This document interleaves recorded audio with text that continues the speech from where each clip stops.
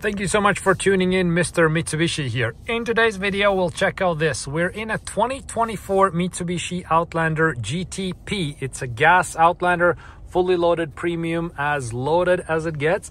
And um, just want to show you this uh, driver uh, screen. So this is 12.4 inch driver screen and there's some good information there and just sort of few basic things that you might need. Uh, please spend more time uh, with your vehicle and check out what all you have. If you have questions about, hey, is this function there or not?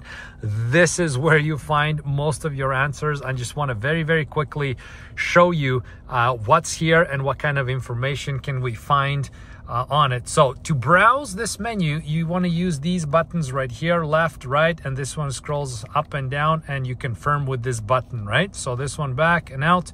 And also one quick thing is I just want to show you there's two ways how you can lay out this whole screen. One is with these uh, gauges on the side, so RPMs, on the side like this and then you have speed there and then you have this button right here these uh, three lines with dots that opens up the shortcut menu so and when you go change meter view you can okay with this button. And see you go back to these classic dials when you have classic rpms classic speed. Uh, for sake of example I'll just go back to the other one change meter view. Uh, so the more enhanced so it pushes aside gives you a little bit bigger information screen on what we can see. So um, when you go through these uh, settings, you have right here home screen. Uh, that's sort of like fairly, uh, you know, uh, blank with just the car direction and the, the, music that you're listening. Then you have the info with your uh, fuel economy and you can reset it by pressing and holding OK. So that will be this button right here. You just press hold and that will uh, reset all info. Okay, now reset, yes. So now our fuel economy got reset. We go back and there you go.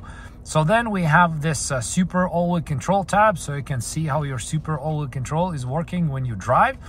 And uh, this one here, again, is just the compass direction. So you see direction gives you the current uh, weather, which, you know, it's cloudy and raining. And I think system is right. it is cloudy and it's raining right now. So we know that the system is uh, working. Now, next, uh, we have the music selection and uh, this is where we have lots of information about the uh, MI-PILOT system. And uh, this one here is where we have the settings. And through the settings, we can see there's like traction control, the driver's assistance, all your blind spot information and everything else. So personal display. So we can do like whatever we want to do. See this part right here how it changes? So we have we can change as a trip gear position navigation leave it blank. Whatever we want to do we want to do it. Head-up display. So here we can adjust the brightness rotation height and contents to show. So this is a big one. So on the head-up display we can see that it can show you navigation driving assist traffic sign audio and your messages. So a lot of things it shows up on the uh, on the navigation uh, sorry on the head-up display. And we can see it right here. It's already it's right there right? So we have speed and all the information right there and gives you very big area of uh,